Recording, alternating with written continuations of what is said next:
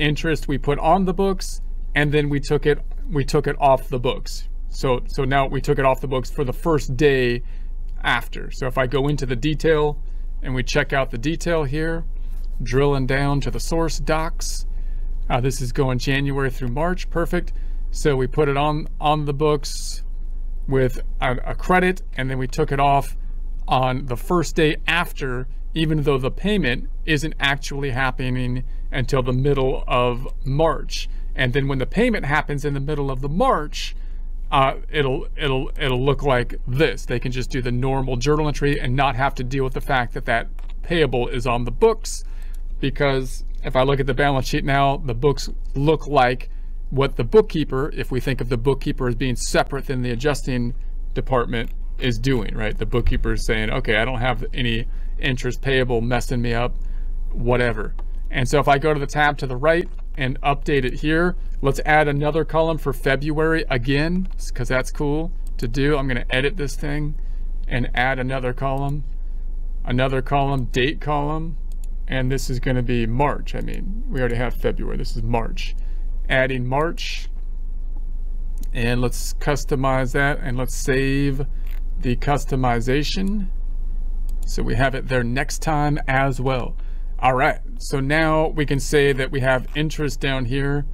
So we had uh, interest recorded and then we reversed it. Now this should look fun. This should look uh, kind of funny here because this is actually a, an increase. This is this is increasing net income.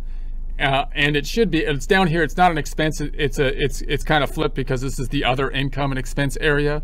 So this is actually looking it's acting like revenue and it's an expense. So that shouldn't be that shouldn't be the case. That will look funny. And notice the accountant if you do this the the accounting department will say that what did you do? There's something that looks funny there because now I've got this thing hanging out there. But if they record the normal transaction as of April April, it will be correct. Meaning, for example, once we hit this point where they're going to record this transaction, what are they going to record? They're going to record a debit to interest expense of 145.83.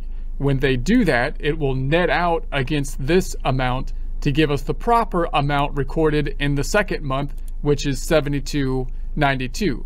So it will then properly break out and between the two periods if we use this method without having to change the method of what the accounting department is doing when they record the transactions. But you have to kind of understand that so that when people ask you why is that there, then you can kind of explain, well, that will that's the adjusting entry It's going to make sense after you do the the entry at the end of uh, or or when the next payment is due, March 15th in this case. So now you can see what happened is we recorded the manual entry uh, that put it on the books. We can't see the manual entry because this is just March. Let's bring this back to Feb. Uh, Feb, we can do just Feb 28.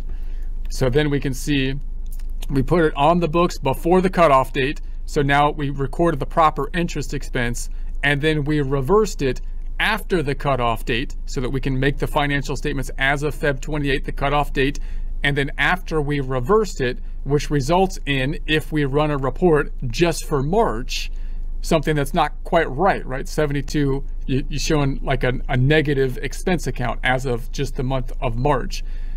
But it will be correct when they record their normal journal entry, in this case, in the middle of the month on March 15th, and they record the full amount of the interest expense, 145 83 because it'll net out to half of it being recorded in March, right? That's the that's the idea of it. Okay, that's what the reversing entries do.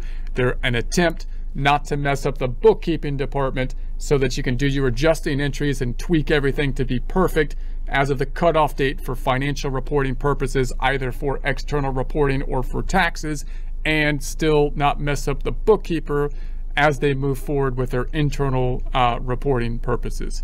All right, so let's uh, let's now open up our reports. I'm, let's look at the journal report. I'm going to right click and duplicate. And let's open up a journal report to see the journal entries we've been creating thus far. I'm going to go to the accounting drop-down reports and open up a journal, the journal report. This is my journal of activities. Uh, some people like to write it down, write their journal with like prose text, but we this is what our journal looks like. Add a new journal. Well, no, I'm not adding a journal. What are you doing?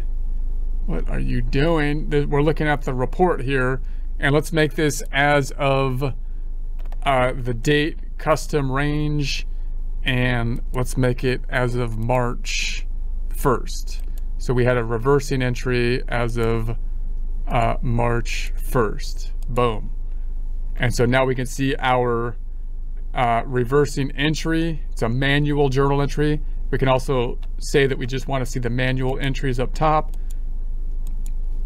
And so we can see just our reversing entry there and we can generate this report. And remember the reversing entries can be identified because they're always going to be the day after the adjusting entry the day after the cutoff, the day after 228, which is in our case March 1st, because there'll be journal entries and because there'll be manual journal entries and because we're going to post in the description that this is a reversing entry. All right, let's also open up a trial balance. I'm going to hit the drop down up top and I'm going to go down to the reports again. Now, I'm going to make the trial balance for the whole year this time because this is the reversing entries are included uh, in March. So we changed something after 228 after the cutoff date. So let's go let's go to the drop down and just say we'll just say custom 2023 the end of it. I'm just going to say the whole year. And so this is where we stand. If your numbers tie out to these numbers, great. If they don't, then the things that we changed this time were, of course, the uh, the payable account. And where is that payable account? Where's the pay? Oh, it's gone now because we made it down to zero.